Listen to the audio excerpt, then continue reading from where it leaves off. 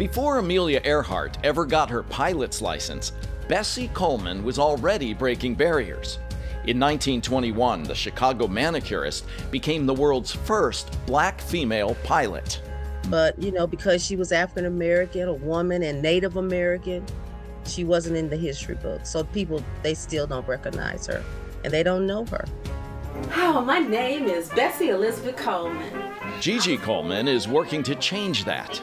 The great niece of the aviator is barnstorming the country herself with a historical reenactment depicting her adventurous aunt. My father used to always tell me, Bessie, you can do whatever you want to do. She was an inspiring person.